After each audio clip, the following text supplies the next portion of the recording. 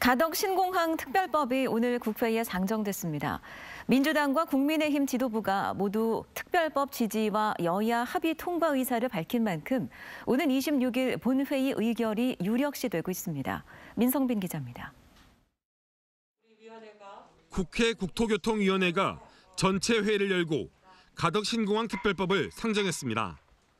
민주당과 국민의힘 부산 의원들이 각각 발의한 특별법 두 건이 함께 올랐습니다. 먼저 제출된 법안부터 심사하는 선입선출 원칙상 올 상반기 내 처리가 어려웠지만 가덕 신공항 특별법은 시급성을 고려해 여야 간사 합의로 사실상 패스트트랙 절차를 밟게 됐습니다. 훨씬 앞에 많은 법안들이 대기 중이에요. 그래서 우리가 11월까지 끊어도 가덕신공 특별법이 해당이 되지 않는데 제가 조금 여야 간사 협의를 해가지고 어, 이 법안을 포함을 시켰고 상정된 두 건의 특별법은 오는 9일 공청회, 17일 국토위 교통법안 심사 소위를 거쳐 하나로 합쳐지게 됩니다.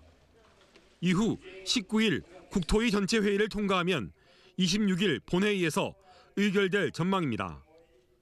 민주당 이낙연 대표는 교섭단체 대표연설에서 2월 회기 내 통과 의지를 강조했습니다. 가덕도 신공항 특별법, 아시아 문화중심 도시법, 등을 기다리는 국민이 많습니다.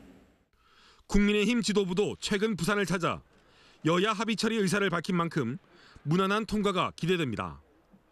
하지만 대구 통합 신공항 특별법도 함께 상정되면서 가덕 신공항 심사에 미칠 영향에 대한 우려도 제기됩니다. MBC 뉴스 민성빈입니다.